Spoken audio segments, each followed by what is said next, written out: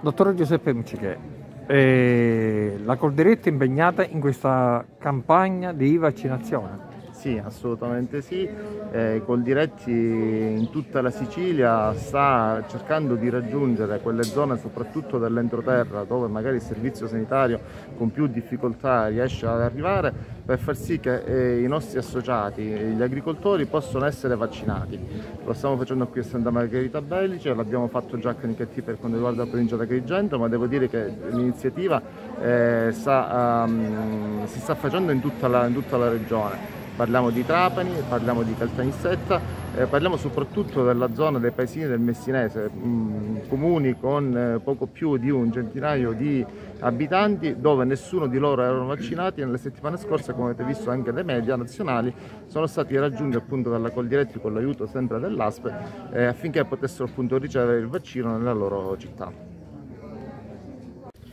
Io onestamente ho, ho conosciuto Coldiretti per, eh, per, per, affrontare tutt'altre problematiche che riguardano il settore agricolo zootecnico a livello regionale siciliano.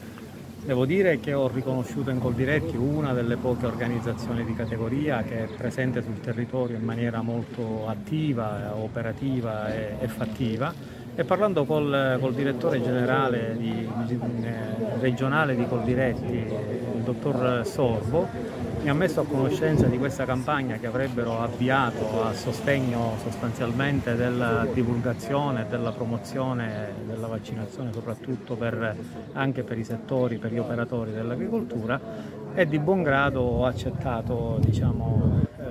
l'idea di coinvolgere anche il, il, nostro, il nostro, comune, soprattutto eh, la Casa della Salute, che è una, una, delle pochissime iniziative che ci sono sul territorio regionale che escono un po' dai, dai canoni istituzionali, con il supporto però importante della, della politica regionale e soprattutto anche il, il Movimento Dico Bene che si è fatto promotore di questa iniziativa. Dottore Sanzera, a che punto è la vaccinazione diciamo, distribuita nelle varie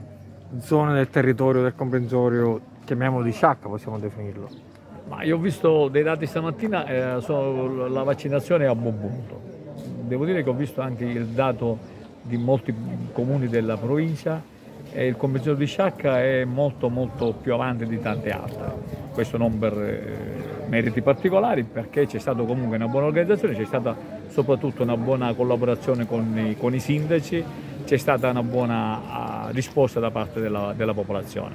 e questo fa sì che ci incoraggia a continuare in questa direzione. A Santa Margherita c'è stata oggi questa bellissima esperienza della, della, con la Coldiretti e con l'esercito che, che, che, ci sta collaborando per queste sedute speciali e comunque qui però grazie alla, dire, ai sindaci, all'onorevole la Rocco Rolo come sindaco di Montevago, quello di Santa Margherita di, e di Sambuca, abbiamo messo su un centro vaccinale che sta producendo veramente degli ottimi effetti. Tanta popolazione si sta vaccinando, tanta popolazione risponde bene e quindi siamo soddisfatti. Quella di oggi è sicuramente una, eh, un elemento in più che si aggiunge, un tassello in più con la collaborazione, anzi la presa eh, in carico diciamo così, di Coldiretti che si fa portavoce di una vaccinazione tra eh, gli agricoltori, tra, le, eh, tra chi è associato tra chi non può raggiungere ancora una volta gli hub vaccinali, quindi arrivare sui territori periferici, credo che sia eh, anche questo una, una, cosa a cui tutti abbiamo eh, eh posto, posto eh, attenzione. Devo dire che Santa Margherita di Belice, la Casa della Salute, ancora una volta diventa in questo momento centro vaccinale anche per questa categoria e soprattutto per questa iniziativa che Coldiretti sta portando in giro per tutta la regione, soprattutto come bene diceva prima il eh, eh responsabile, il dottore Miccichè, soprattutto nelle periferie perché sono quelle periferie che a volte non riescono ad arrivare nei grossi hub vaccinali e questo sicuramente è una cosa positiva. Vedo tanta gente che si avvicina, vedo che i numeri sulle vaccinazioni aumentano e l'altro elemento in più da aggiungere è la nuova circolare che l'assessorato ha emanato nella giornata di ieri. Devo dire più volte la Commissione Salute, io eh, eh per prima, abbiamo sollecitato a vaccinare i senza fissa dimora, gli stranieri temporaneamente nel nostro territorio, non solo gli immigrati, tutti coloro che non sono in regola con una carta d'identità. Abbiamo spinto a queste vaccinazioni perché ce lo chiede l'ufficio Migrantes e oggi, eh, da, da oggi c'è una disposizione che uniforma tutto il territorio regionale a che anche queste categorie di persone possano avvicinarsi alla vaccinazione e possano, eh, e possano farla. Quindi eh, certamente la macchina cammina, il caldo di questi giorni non ha aiutato, le diverse defezioni che ci sono state sul vaccino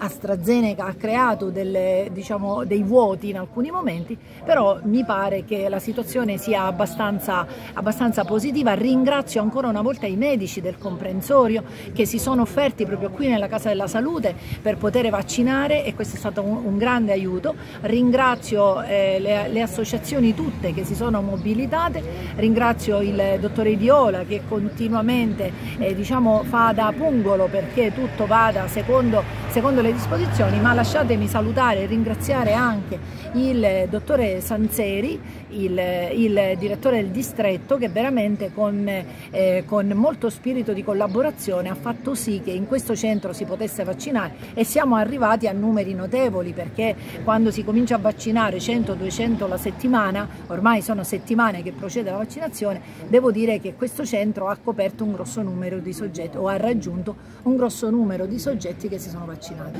Un altro elemento importante oggi nella nostra provincia è l'aiuto che è arrivato dall'esercito, avere anche dei vaccinatori eh, che vanno ad aggiungersi ai medici che già di loro lavorano per, eh, per smaltire quanti più vaccini possibili è sicuramente un elemento in più, quindi un grazie all'esercito per quello che sta facendo a livello nazionale col commissario Figliuolo e per quello che in Sicilia sta facendo l'esercito a eh, supporto di, del lavoro del, dell'assessorato regionale per la salute e oggi anche nella nostra ASP con oltre 40 unità che si sono aggiunte per continuare le vaccinazioni.